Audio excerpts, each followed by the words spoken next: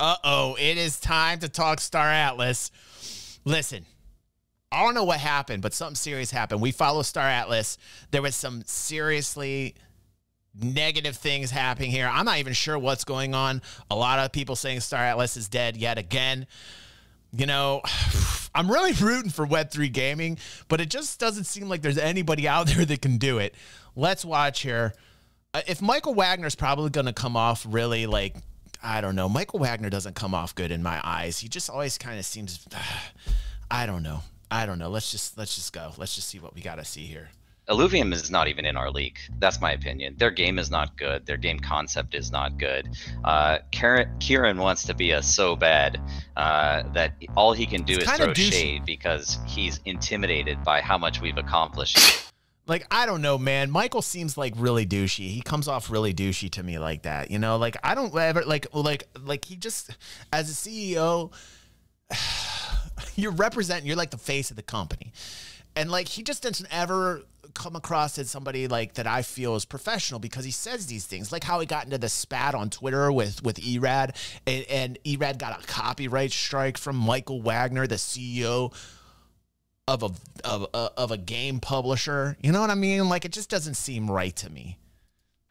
Not even a day news broke that Star Atlas has laid off 73% of its workforce. And what?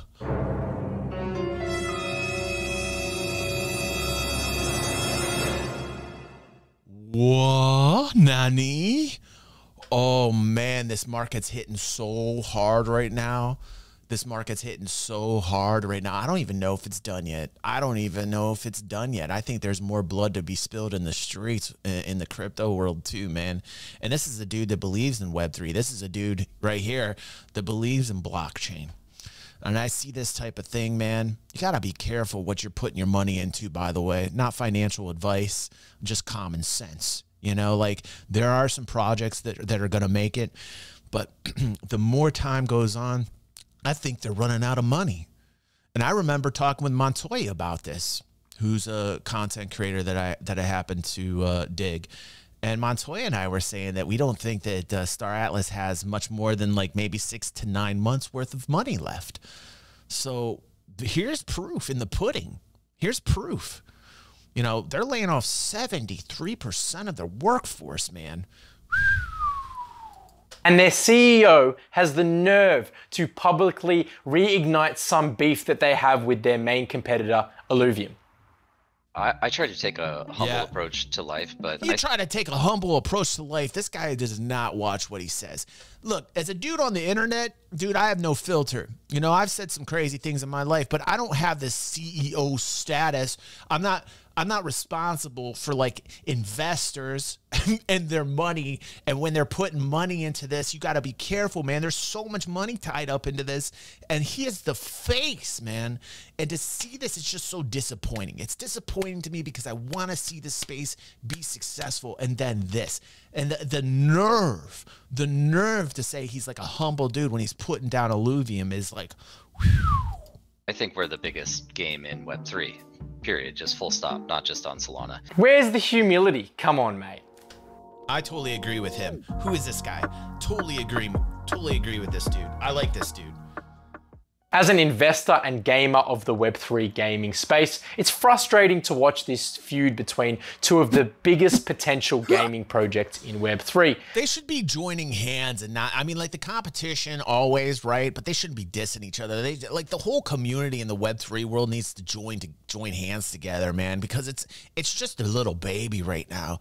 And to see this infighting is just so disappointing for people that want to see Web3 make it. We're gamers out here that actually want to see the utility come to life, that want the fun in the game. And actually, hey, maybe we can make some money with it, which would be awesome if I can play and have fun and then make some money at the same time. To me, that's a no brainer. But to see this type of thing, just ridiculous, ridiculous.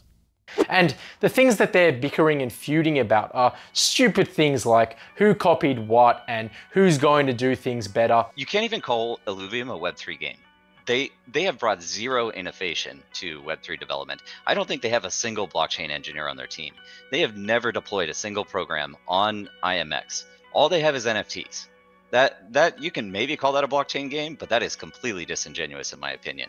They have brought zero innovation to the space. The whole point of Web3 is not who makes the most protocols, who makes the most NFTs. It's about decentralizing the space so that innovation can grow outside of some of these publishing houses that we see who are monopolizing and you know, putting pressure on gamers. You'll be I love this dude already. I'm subscribing to this dude. Was only 232 subscribers. Gameonomics. I'm actually gonna. If you guys are interested, I can tell just from this guy's like opinions right now. I'm totally down with this dude and what he's seeing right now.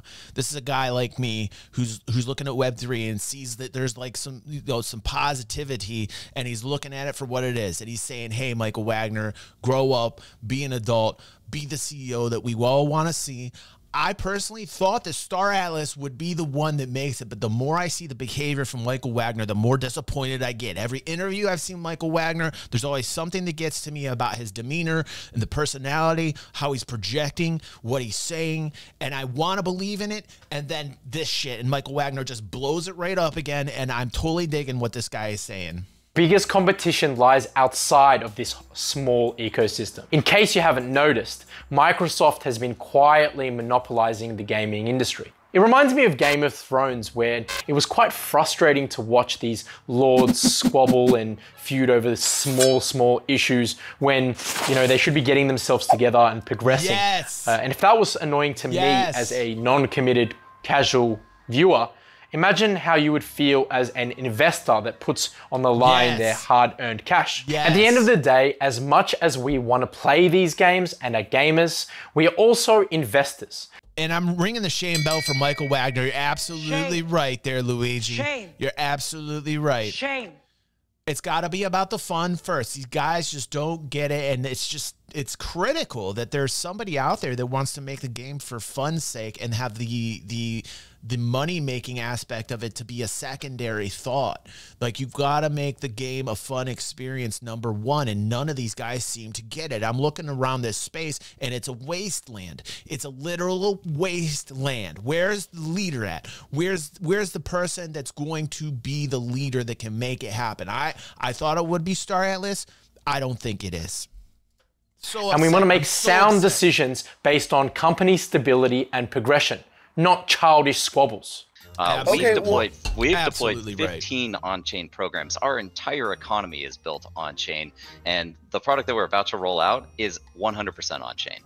It's really a shame how much time and energy gets wasted on these sort of feuds instead of what truly matters in the space, the fun, creating a unique, immersive, and decentralized gaming experience that the world has never seen before. As much as these games need to compete with each other to provide the best possible gaming experiences, they also need to band together and collaborate to prove to the world that decentralized gaming is the future. At the end of the day, we are taking on Microsoft, Tencent, Sony.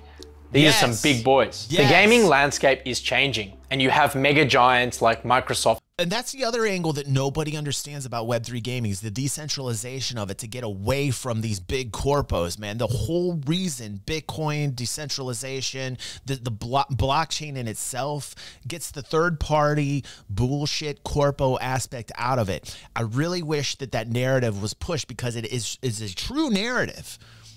To, to create something that's truly decentralized that not anyone can touch other than the the people that make it that make the game. But you got to find the makers actually or, or, legitimately want this project to survive and are doing it for the right reasons. And I see nobody in the space doing it. Who are leading the way.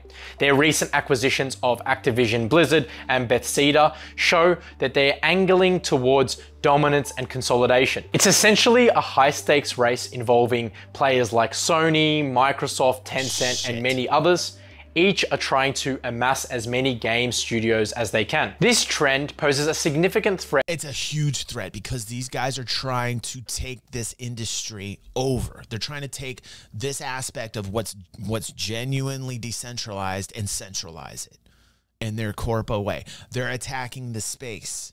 They're literally attacking the space and trying to monopolize it threat to diversity and innovation that has always been a hallmark in our gaming industry. The answer to this lies within the world of Web3 to democratize, to decentralize and to diversify the world of gaming. But for this to be realized, our Web3 gaming leaders need to look beyond the bullshit small time bickering and see how they're going to tackle some of these looming monopolies. So, Star Atlas CEO, awesome. if you are watching, stop focusing on competition within awesome. the Web3 gaming space.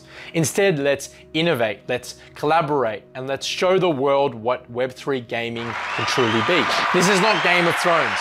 This is the future of gaming. Dude, bravo. I am going to like that video. I subscribe to that guy. And if you are down for that, I say, I just say bravo. Bravo, sir. Bravo. That was that was excellent. I'm going to link that once again if you guys are interested in that. This guy's dead on 110% on the money. This guy knows what's up. So uh, his name is Gameonomics. Totally dig the name. Totally dig the vibe. Dude, you're about the realest real in the space that I've ever seen yet reporting on it. Keep it up, bro. Keep it up, man.